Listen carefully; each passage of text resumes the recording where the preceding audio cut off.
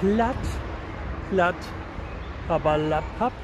Ja, liebe Leute, ich bin wieder unterwegs in Rom für Kunst für A-Lüd. Ja, Kunst im öffentlichen Raum und heute bin ich wieder auf dem Max-Schmelings-Platz und ich habe mich heute auch durch den Gießer von Gerhard Janisch. Und ja, was er mit dem sich hat, das erzähle ich dir noch hier nebenbei. Jo, tschüss.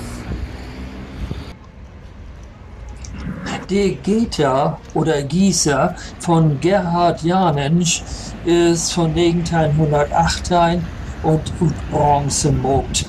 Jo, Gerhard Janensch hat lebt von 1860 bis 1933 und äh, die Skulptur stund früher an Ingangsportal von der Horburger Firma Törl in das Schloss traut. Der Künstler hat eine Handvoll Plastiken zum Thema Hildwerk und Arbeitswelt mogt. Als die Firma Törl dicht war, die Plastik 1990 an das Helmsmuseum übergeben. Jo, und in der nächste von das Helmsmuseum steht das jetzt auch. Und nun nochmal auf Hochdeutsch. Gerhard Janensch lebte von 1860 bis 1933 und die Bronzeskulptur von ihm, der Gießer, ist von 1918.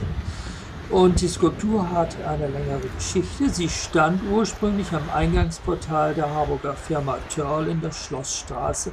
Der Künstler hat eine ganze Menge Skulpturen, Plastiken zum Thema der Industrie- und Arbeitswelt gemacht.